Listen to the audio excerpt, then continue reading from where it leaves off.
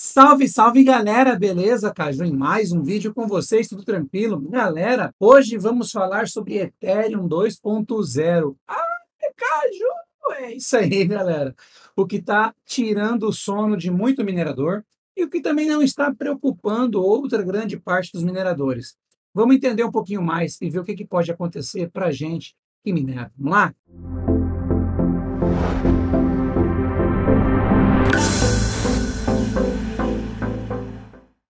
Começando aqui pelo vídeo, galera, o que, que é o Ethereum 2.0? Galera, é uma atualização da moeda que visa melhorar o funcionamento dela como um todo, galera. E hoje já tem um problema sério de quantidade de transação e etc. E essa atualização 2.0, ou Serenity, como eles chamam, visa melhorar isso, dar mais agilidade no processamento de transações com um custo muito mais baixo, que outro problema do Ethereum atual é o gas price da mineração, que faz com que a rede fique cara e às vezes fique muito lenta. E o que, que muda do Ethereum atual para o Ethereum 2.0? Galera, principal, a mineração do Ethereum vai deixar de existir, né? que é o Proof of Work, ou o POW, onde nós, mineradores, fazemos a autenticação das transações, e passará a ser POS, ou Proof of Stake. E aí, quem tiver 32 etéreos ou mais em stake vai conseguir fazer essa mineração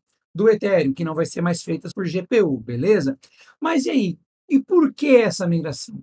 Atualmente, hoje, a rede do Ethereum atual hoje só dá suporte a até 30 transações por segundo.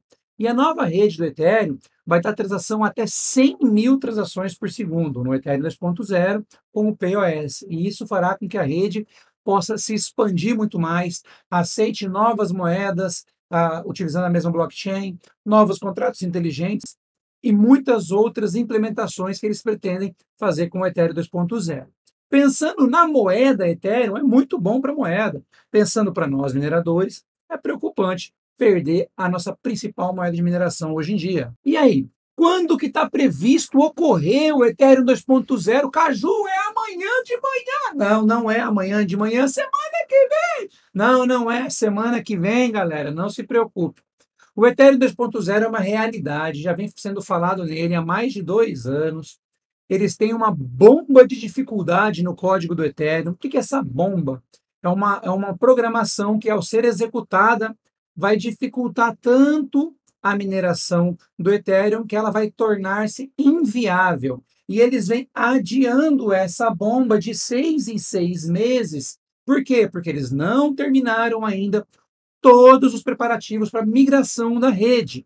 E essa bomba, ontem saiu uma notícia que foi adiada novamente e ela foi jogada para o ano que vem. Não disseram se é janeiro, fevereiro, março, abril, maio, junho, julho, agosto. Não deixaram data. Mas ela estava prevista para acontecer agora, em dezembro, mês que vem, e ela já foi desarmada novamente e jogada lá para frente. E como é que eles fazem isso? Eles mudam o código da rede, porque está previsto para acontecer essa bomba no bloco número X. E aí eles mudam isso e jogam isso para o bloco número Y, lá para frente, que é previsto pelo que eles têm de quebra de bloco na blockchain, né, no registro de blocos, no registro de blocos da blockchain, que vai ser daqui três meses, quatro meses. Então, provavelmente vai acontecer o ano que vem mas estamos falando a mesma coisa do que estávamos falando no começo desse ano. Provavelmente vai acontecer no final desse ano. Jogaram para frente de novo.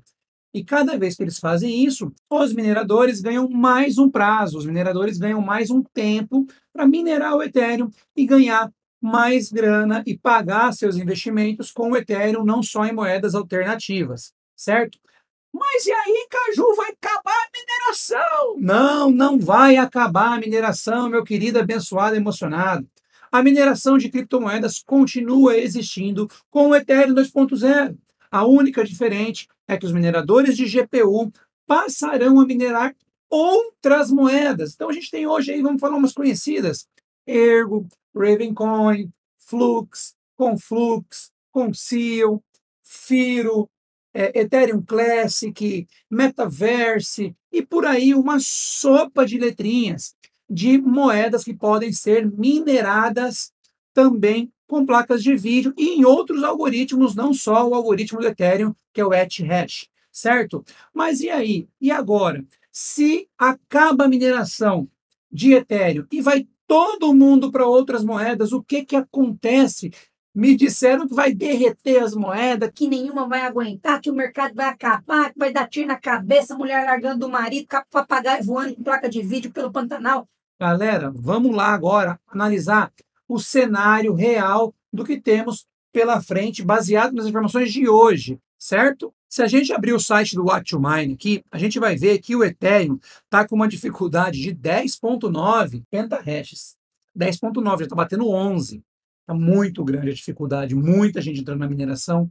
E o Ethereum está bem rentável porque ele subiu bastante.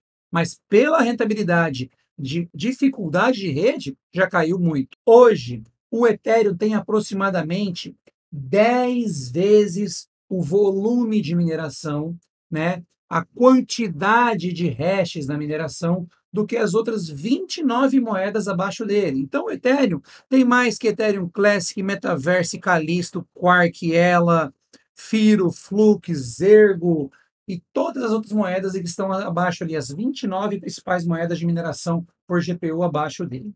Então, vamos lá. Nós temos, então, 10 vezes as moedas que a gente vai migrar para ela depois do Ethereum 2.0. Se todo mundo, se essas 10 vezes fossem para as moedas, as moedas perderiam a rentabilidade em aproximadamente 10 vezes em cálculo de padeiro. Então, se você ganhava mil na Flux, você vai passar a ganhar 100. Putz, cara, eu tô fudido, não pago cartão, não pago o crédito, então lasquei, lasquei, vou me matar, cadê o revólver, vou dar um tiro? Calma lá, abençoado. Não se emocione, vamos lá. Então, vamos lá. Vou deixar aqui do lado 10 vezes a mineração de outras moedas, certo? Beleza.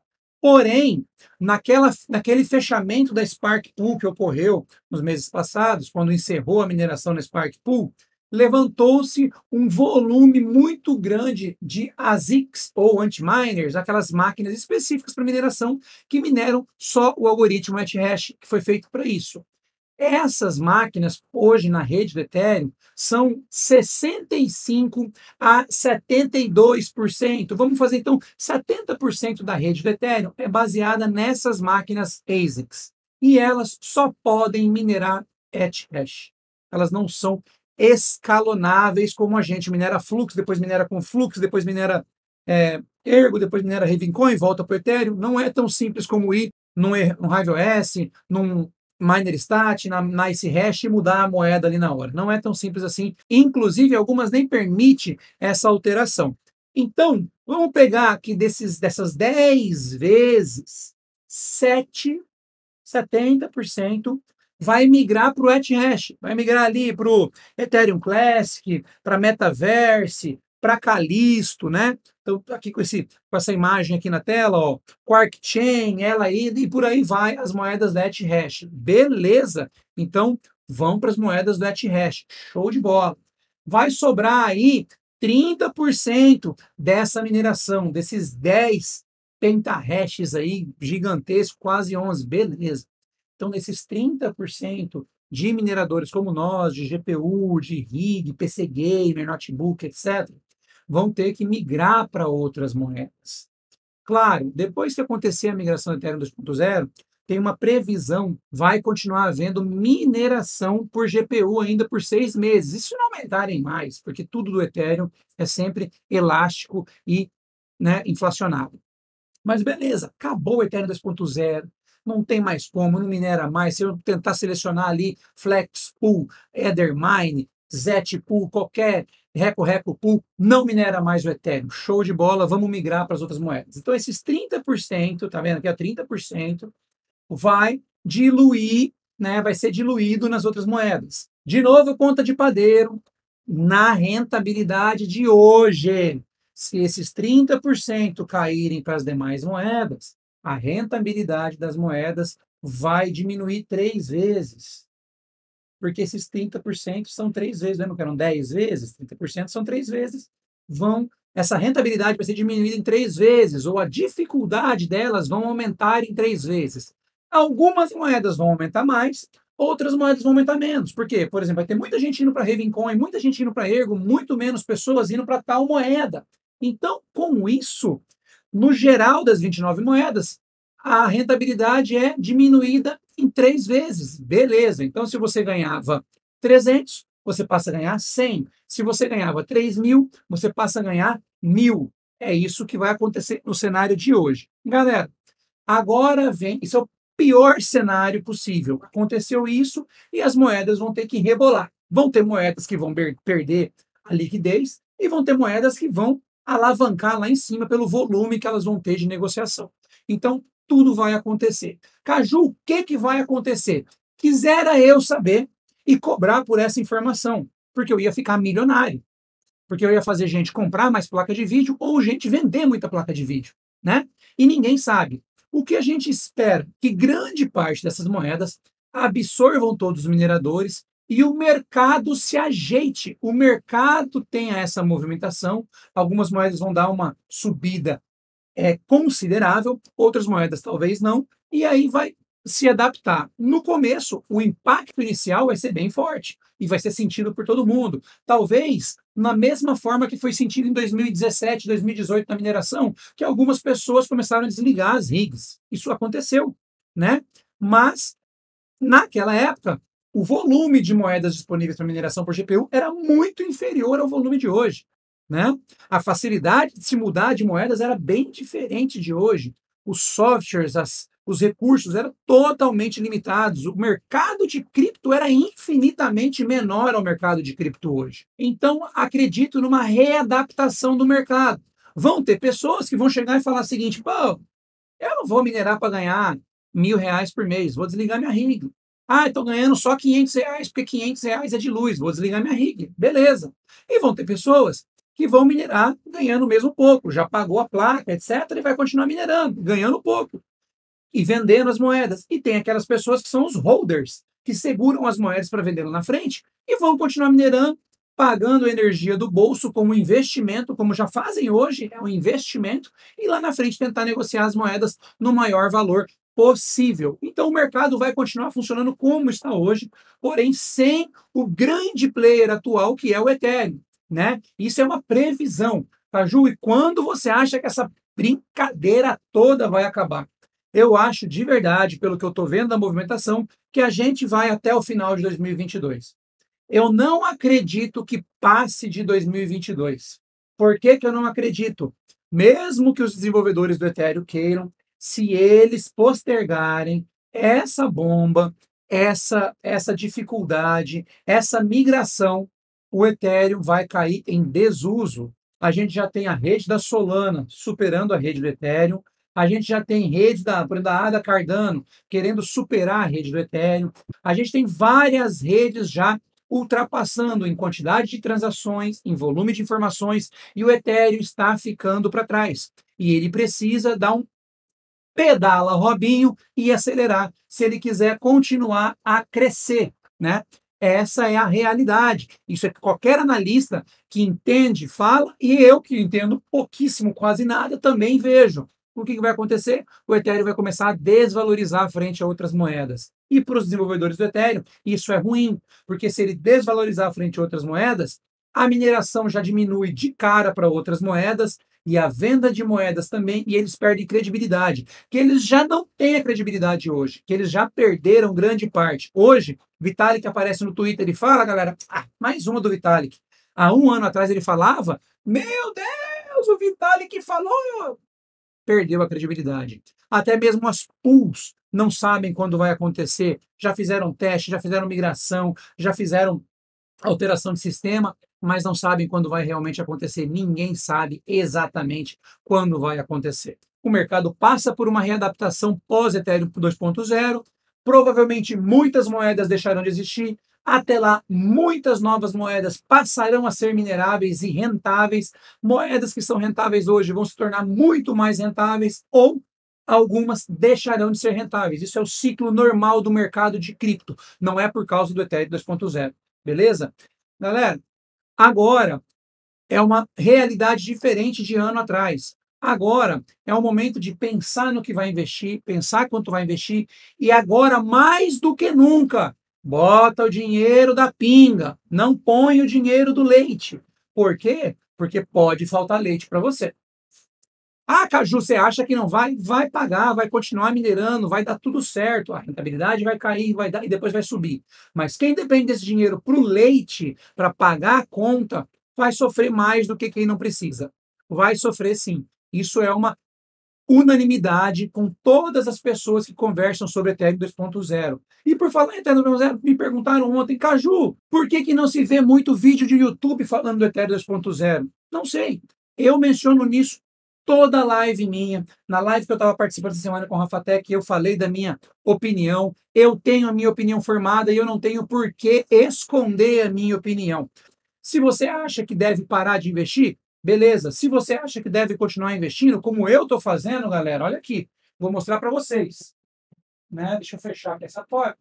Dá uma olhada aqui. Ó, olha o tanto de equipamento para ser montado, faltando só a placa de vídeo chegar. Entendeu? Então, eu sou um cara que, se eu falar para você não compre placa de vídeo, está sendo hipócrita. E vai ter mineração de Hive, vai ter mineração de Windows Manifestat, vai ter mineração de, de Nice Hash, vai ter mineração de tudo nessas máquinas. Então, estou fazendo investimento porque eu acredito ainda. E eu acredito que eu fazendo investimento e mostrando para vocês, eu dou uma segurança no que eu estou falando para vocês. Não estou fazendo aquela famosa história do faça o que eu falo, mas não faça o que eu faço. Né, galera? Encerrando então, galera, o vídeo foi esse. Espero que tenham gostado dessa opinião, espero que tenham gostado dessa análise, espero que tenha sido útil para vocês. Se gostaram desse vídeo, galera, mesmo que não gostem do Ethereum 2.0, Deixe o seu joinha para saber que o vídeo foi legal. Se você não for inscrito no nosso canal, se inscreva no nosso canal, ative o sininho para receber as notificações de novos vídeos. Galera, meu site julianocaju.com.br está super atualizado. Botei agora as pools de Ergo, estamos atualizando novas pools. Em sequência vai ser Ravencoin, Flux e todas as informações de pagamento, taxa e etc. Foi adicionado mais 11 placas na parte de motherboards e GPU, limite de GPU por placas-mãe. Os produtos foram reatualizados, revisados com links novos para a galera que compra ali no site, de vendedores que a gente comprou, recebeu mais rápido, deu uma melhorada ali. E as demais informações, como ofertas de GPU, ofertas de fonte, estão bombando no acesso do site, beleza? O grupo do Discord está aí na descrição do vídeo. Nosso clube de membros cada vez crescendo. Muito obrigado a todos. Se quiser se tornar um membro, link na descrição do vídeo também, tá certo? Tô ficando por aqui, galera. Nos vemos no próximo vídeo e fui!